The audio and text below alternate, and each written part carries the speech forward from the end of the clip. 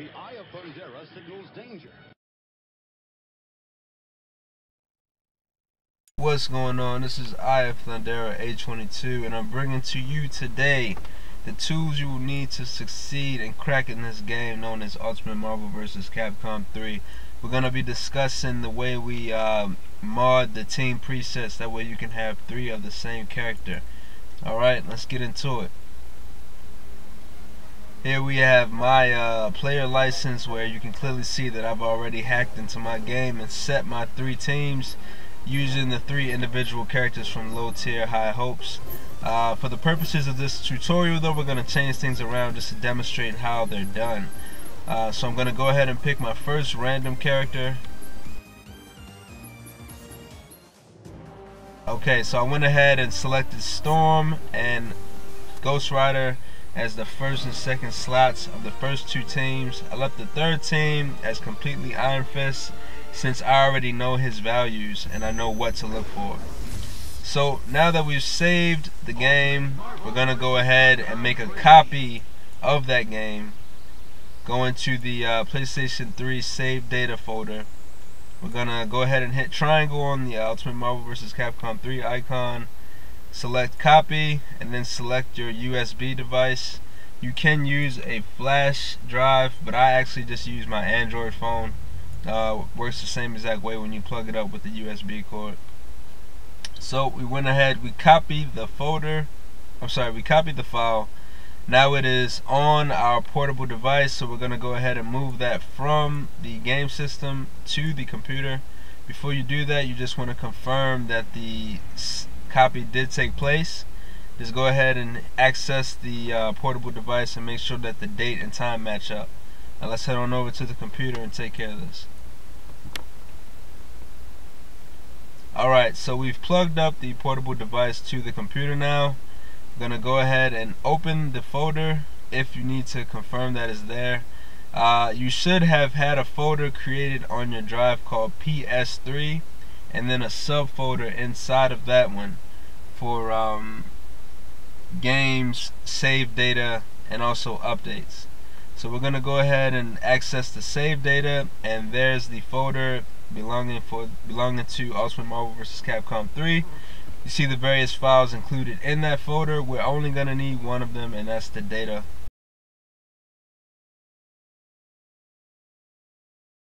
So we're going to go ahead and open Brute Force. Uh, link in the description. This is what you're really going to need to um, encrypt and decrypt the file so that you can mod it. Uh, go ahead and open up the folder. Right click on the lower portion of the window and select the data file and you're going to go to decrypt PFD. Once you do that, the next step is to open up your uh, hex editor. I choose HXD, which is a pretty good one. Link in the description for that as well.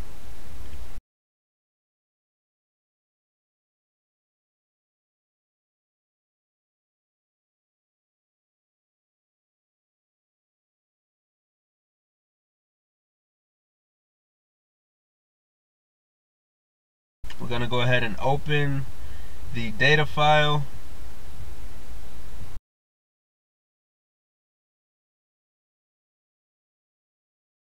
and once you do that it's going to open up a slew of hexes that you need to pay attention to um, unlike the Xbox 360 version the hexes on this file do not go all the way down to 000110dB that does not apply for PlayStation 3. The ones that we need actually occur very early on in the hex and I'm highlighting them now so that you can see. That is the first preset team slot. That is the second preset team slot. And that is the third preset team slot where you see the character uh, 30 repeating every four, four, four spaces, that's Iron Fist. So we're going to go ahead and duplicate a certain number so that we can make that team entirely one character. Uh, for the first team, I'm doing 29, 29, 29. That character belongs to Storm. For the second team, I'm gonna go ahead and do 2A, 2A, and that belongs to Super Skrull. Alright, I'm gonna leave the third team as is. Uh, three Iron Fists because that's just uh, how I roll, but for all intents and purposes, there is a link in the description as well for all of the characters and their values. But if you don't know the value for sure, just go ahead and leave the last slot in the preset team the character you want the entire team to be and then you can just look for that variable. So we go ahead and we save that we exit out of that we go back to brute force and now we have to undo what we previously did by encrypting. So we're going to select encrypt PFD but before we do that we got to apply a cheat so that the uh, brute force program rehashes the save data so that the PlayStation 3 can recognize it. This is very important.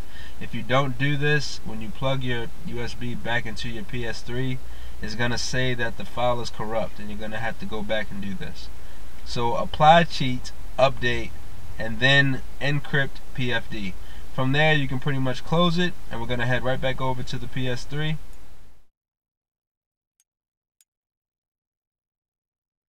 And then we're gonna copy. So we access the file copy. It's gonna ask if you want to overwrite and you're gonna say yes.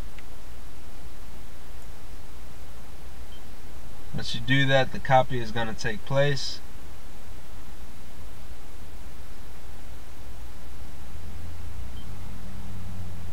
And it's time to uh, see the fruits of our labor so we're going to go ahead and get back into the game to check out our newly modded license card and our accessible teams. Alright, and there we have it. Team A is full of Storm, Team B is full of Super Skrull, and Team C is full of Iron Fist. I hope this tutorial really helps you guys. This is definitely um, some new tech to keep Marvel on edge with Ultra's recent release. Uh, I actually have used it online a few times myself, and the, the reactions are always pretty fun when you when you get them. And with that being said, thanks for watching. Shadowland. The fight is on. Another base life form. Avengers, assemble! It's do or die. Go against me every time I'm in the street. I hear yak yak yak yak. Man down, where you from, nigga? Fuck who you know, where you from, my nigga? Where your grandma stay, huh, my nigga? This mad city I run, my nigga. Brace yourself, I take you.